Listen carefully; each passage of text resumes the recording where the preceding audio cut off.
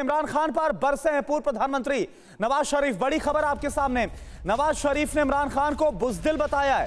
Court के सामने पेश ना होना इमरान खान की कायरता है। अगर कुछ गलत नहीं किया तो गिरफ्तारी से डर क्यों? ये नवाज़ शरीफ बोल रहे हैं।